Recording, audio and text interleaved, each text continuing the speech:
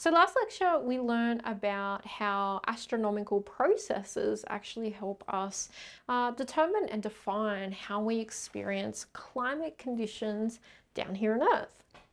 Now, for Indigenous peoples, seasons are not strictly defined by, say, temperature, but by a very specific uh, series of events happening in the natural world. Now, just as variables such as temperature and hours uh, of daylight act as seasonal markers for, you know, us and, and most people, Indigenous peoples have their very own seasonal markers. Um, and on the land, but also up in the sky.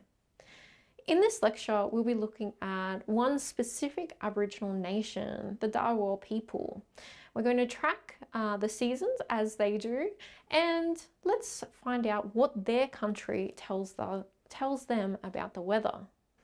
Yeah, so we want to discuss some of this Dharawal knowledge um, that, um, that they know. And so the Dharawal people are from the Sydney region um, and that sort of area there in New South Wales.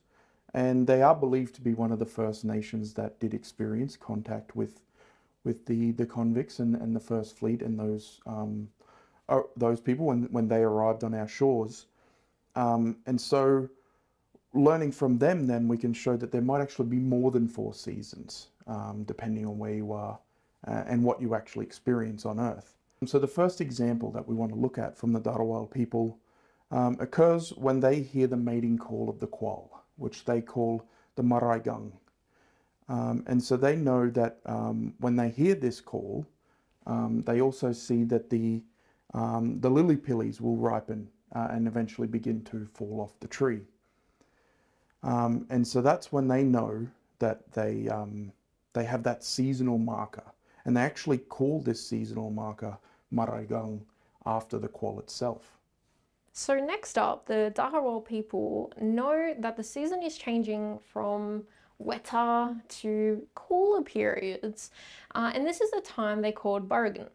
Uh, now this is when they observe the male Burrigan or echidna, this little spiky creature here, uh, forming lines, uh, lines as they follow the female echidnas through the woodlands in an effort to wear her down actually in order to mate with her. It is also the time when the Burriga forest red gum tree starts to produce flowers. And this indicates that it's the time to collect the nectar from that tree um, and from different plants as well for the ceremonies taking place during the next season. And then we move into the time of the year where we get that cold and windy period. Um, and this is when the lyrebirds would begin to call out through the forest as they build their mounds and attempt to attract their mates. Um, and it's also the time of year where the wattle tree begins to blossom. Um, and that signifies that the fish are in the rivers and that it's a good time to actually go out and hunt those fish. And then as this season comes to an end, the wattle flower uh, further signals the beginning of the gentle spring rains. So the next season is of course the start of warmer periods. And this is seen when the flying foxes are observed to be gathering. Now they come from the north, uh, from and from inland as well, uh, over towards Dharawal country. And they can be seen flying all through Sydney during this season, uh, just after sunset. So keep an eye out.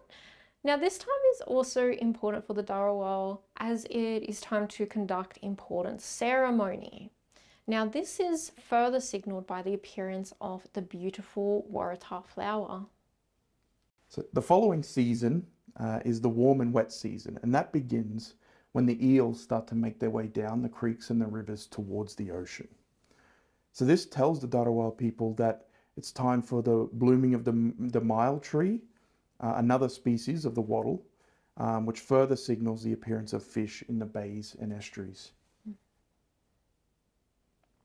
So finally, we have returned to the start of the year where things start to get a bit more wet but still quite warm. Now, this is signaled by the behavior of the male kangaroos, which start acting quite aggressive again, mating season. Um, this also indicates that it is forbidden during this time to eat meat during the period uh, due to obvious reasons increased risk of food poisoning during that time, um, you know, with the wet and really warm weather. So the blooming of the acacia tree, another wattle tree, also tells us about fire seasons. It's starting.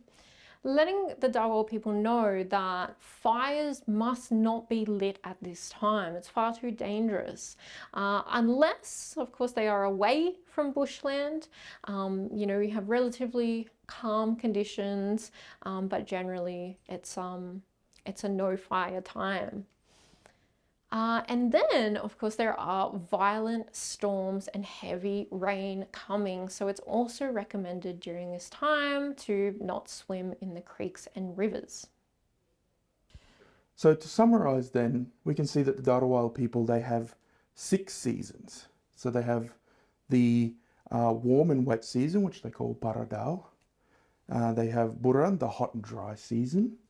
They have uh, Maraigang, the wet, cooler season uh, which is the cold, short days of winter in that sort of time, uh, uh, the cold and windy season, and Ngungungai, the cooler, starting to get warmer season of the year. And so, importantly, what these Dharawal seasons actually show us uh, is beautifully what is happening um, in the sky and how it affects what's happening here with the animals and the plants and the people and how all of this knowledge is interconnected.